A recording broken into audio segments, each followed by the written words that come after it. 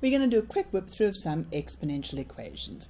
And these are really nice and easy to see. Look, if we have 5 to the x is equal to 5 to the 3, what value of x is going to make it true? Well, we're asking ourselves what value of x will make it that 5 to the power of x is the same as 5 to the power of 3. Hopefully, it's immediately obvious to you that the only way that this will be true is if this x is exactly equal to 3. So the solution to that equation is x is equal to 3.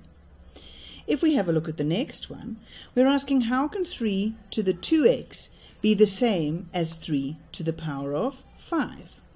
Well, again, hopefully it's immediately obvious to you that the only way you can get the same thing if you say 3 to the power of 2x as you get when you say 3 to the power of 5 is if that 2x is equal to 5.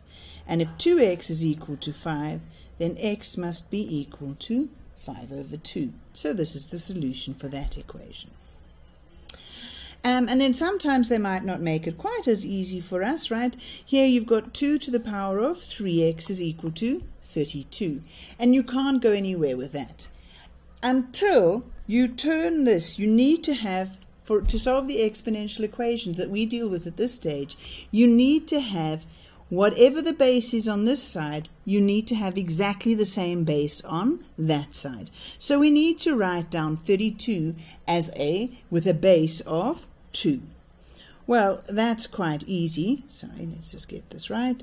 Uh, we know that we've got 2 to the 3x and we've got 32 and you should know that that is 2 to the power of 5. Again, if you struggle, you don't know immediately that 32 is 2 to the power of 5, you can use your prime factorization to get it down there. Okay, so now it's easy to compare because you've got 2 to the 3x is equal to 2 to the 5. How are you going to get those things to be equal? The only way is if 3x is equal to 5.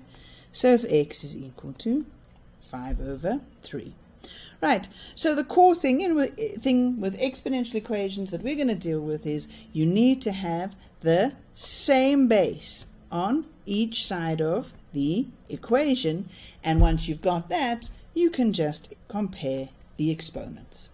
All right, so I want you to try one now. 3 to the x is equal to 1 over 9. What value of x will make that equation true? Pause the video and try this in your key concepts book. All right, so you needed to have it in exactly the same base. Now, you know that 9 is 3 squared. But now this isn't exactly 3 to the power of something equals 3 to the power of something, right? So we still got a little bit more work to do. 3, 1 over 3 squared is the same as 3 to the minus 2. Now we've got same base on either side, so we can just compare the exponents, and we get x is minus 2.